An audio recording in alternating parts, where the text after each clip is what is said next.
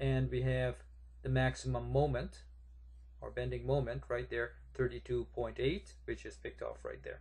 We need this value to actually calculate the bending stress okay? To calculate the bending stress we need to use this formula here. The formula saying bending stress in MPa is equal to maximum moment in Newton per millimeter times the y bar in millimeters and the inertia value right here is going to be in millimeters to the fourth. This is the inertia value for the complex shape. When we look at uh, the moment, we already picked it off from the previous diagram, so we have that already. These two values we don't have, and the formula for calculating the y bar is right there. Now, if the cross-section of the structural member is a symmetrical cross-section, you just need to take the height and divide it by 2. However, if it's a non-symmetrical uh, section, we have to use this formula right here. For the inertia value, this is the inertia for the complex shape. In here, we have the inertia for the simple shapes, and it's summation of inertia of simple shape plus the summation of ADY squared, and that will give you the inertia of the complex shape right there. Okay. Let's look at the cross section of our structural member. We could see that we don't have a symmetrical shape because if I cut it right across here, we don't have two equal halves. So we don't have a symmetrical shape in the y direction. So we have to go and calculate the y bar using this formula right here. Okay. To do that, we're going to make a reference to the bottom. So all of the centroid of these simple shapes the individual shapes are located right approximately at these location. And to get the y bar for or the dy I should say for the y bar it is referenced to the base of the cross section to the base of the cross section. So for shape uh, 4 shape 4 right here if I want to get to the neutral axis of shape 4 from the base it's half the height. 50 divided by 2 will give you 25 if I want to go to shape 3, uh, I want to locate the centroid of shape 3 from the base, it's going to be 600 right there, divided by 2 will give, get me to the halfway point, but then I have to add the base of 50. I have to add the height of shape 4 of 50. will give me 350. 350. For shape number 2, half of the height is 25 plus 600. 625 plus 50 will give me 675 right there. And for shape number one, I'm going to go all the way to the top, the whole height of the cross section, and I'm just going to subtract half of the height of shape one, which is 25. And I'm going to go get uh, 625. So I have all of my dy's right there. The areas are fairly simple to calculate. When we look at uh, 400 times 50, 5 fours 20, so we'll have 20,000. 20,000. Fairly easy calculation. Nice numbers to work with. I'm going to set up the the y bar information in a table form and I have done that. All the areas are listed here. I have shape 1 to 4, and I have the y bar corresponding y bars right here. The only thing I have to do is multiply these to get my ADY. Okay, the ADY when I summate it, this value is right up in the numerator and summation of area is the denominator and that'll give me my value for my y bar. Again, it's demonstrated right here. You just drop the 3 0, drop two more 0, you have 425 as your y bar. Now remember that this y bar is from the base of the cross section. It is from the base of the cross section, so let's take a look at that.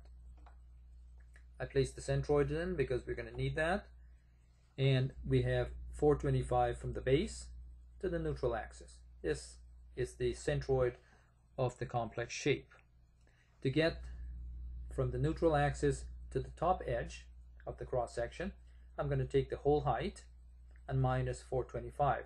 Now the whole height will be 600, 750 minus 425 will give you 325. Okay, again, 6, 750 minus 425 will give you 325. So I have the distance from the neutral axis to the two outer edge. I need those uh, y bars for my calculation of my stress. Also need the dy. Now remember I mentioned that the dy's are not the same. The dy for the y bar calculation was based on the base or it, it is uh, from the bottom of the shape. The dy's for in inertia calculation it is from the neutral axis as your baseline. The neutral axis is your baseline.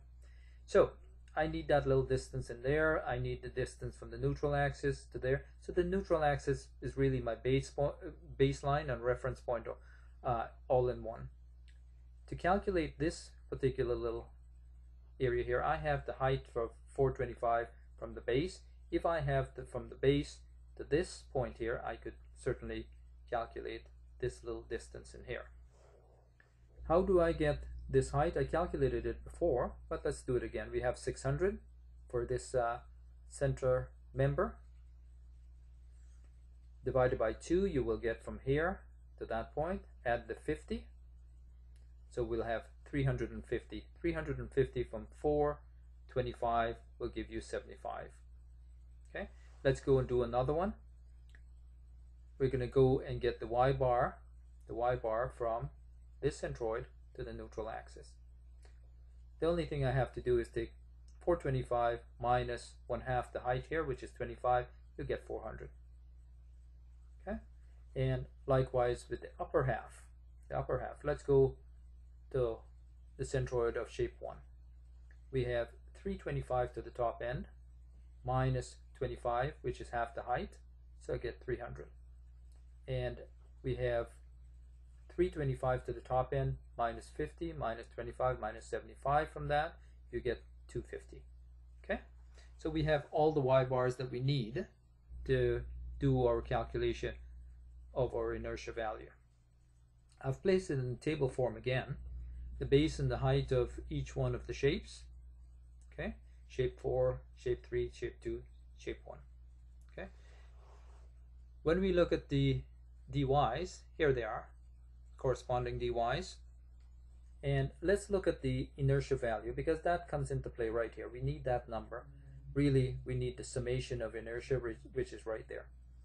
For rectangular shape, the inertia is bh cubed divided by 12 for simple shapes, for simple shape.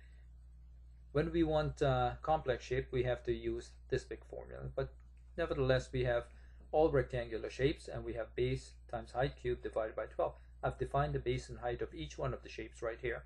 So I'm going to take the base times 50 cubed divided by 12. It'll give me 4,166,667. Okay, and that is what I do all the way down. I'm going to summate that, and that value will come right here in this formula. Okay, I'm going to take my dy for shape 1 and I'm going to square it because that's what the formula is. A dy squared you could see the dy is squared right there. Square this multiply it by the area in this case 5 four is 20,000 multiply 300 squared by 20,000 you're going to get 1 billion 800 million as your answer. Okay and another one. I'm going to take 250 and square it and I'm going to multiply it by 25,000 and it should give me 1,562,500,000 and likewise all the way down. When I summate that, I'm going to have summation of ADY squared as 7,531,250,000 and that value will come right in here. Okay, that value comes right in there. This one is there. When I add up the two value, algebraically add them, I will have 8 billion 445 million 833,333 millimeters to the fourth. Millimeters to the fourth. Now I have all the variables that I need all the quantities that I need to apply them to my stress formula. Stress in MPa is equal to moment, Newton per millimeter, times my y bar, and I'm going to have two y bars because I have two distances from uh, to the outer edge from my neutral axis, and I have my inertia value of the complex shape. The y bar above the uh, neutral axis is 325, the y bar below it is 425, and we've picked off from our bending moment diagram 32.8 kilonewton meter, which we need to apply right in there. But the units are, are not right. The units are not right. We have to change this uh, kilonewton meter to newton millimeter, and to change kilonewton to newton, I'm going to multiply by a thousand. Meters to millimeters, I'm going to multiply by another thousand. When I multiply a thousand by a thousand, I get a million. So when I take 32.8 kilonewton meter, multiply it by 10 to the 6, which is a million, I'm going to have Newton per millimeter. Then I'm going to multiply that by millimeters. I'm going to have Newton per millimeter squared in the numerator and millimeter to the fourth in the denominator. The millimeter squared will uh, cancel out with the millimeter to the fourth and the denominator will be millimeter squared. So I'm ending up with Newton divided by millimeter squared, which is MPa, which is MPa. Okay, when I crunch the numbers on this, I have 1.26 MPa for the upper part above my neutral axis as my stress. Okay, the outer edge will have 1.26 MPa stress. For the lower half, I have to run the formula again. The only thing that changes from this formula to this one is that my y bar has changed.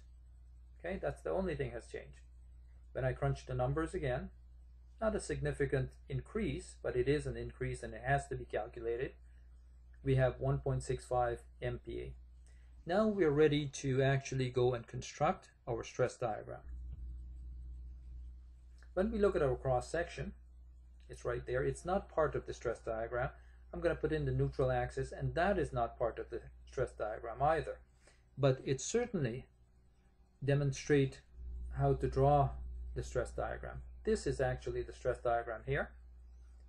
We've cut the beam right there and the forces will bleed out. Forces will bleed out. We know that right along the neutral axis, the forces change from tension to compression. We know that. We know that from our calculation, the upper half has 1.26 MPa of stress and the lower 1.65 MPa. When we create our stress diagram, you notice the larger, the smaller number has a shorter distance from the cut edge and the larger one has a larger distance from the cut edge. It doesn't have to be to scale, but you should have shorter, longer, like this. The other thing that we have to realize is that the stress from the outer edge decreases to the neutral axis to zero. Okay? The neutral axis is where you change over from tension to compression, so it comes to zero there. And then it goes back out, it starts to increase in a linear form. In a linear form. The other thing that we have to determine is how to place our arrowheads for stress. Let's go to our deflected shape. When we look at our deflected shape here, we did this in video 1.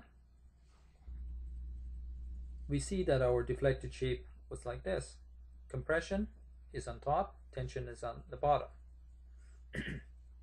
the arrowhead always acts towards compression. And because we cut the beam and we are demonstrating the bleeding out of the forces on the right hand side, we have the right shape here. So we could put that. This is not part of it, but it helps us in placing our arrowheads for stress. When we have arrowheads um, or forces acting towards a member, that is compression. It's indicated by the C. And when we have them acting away from the member, that is tension which it indicates by the T. This uh, basically is the, the stress diagram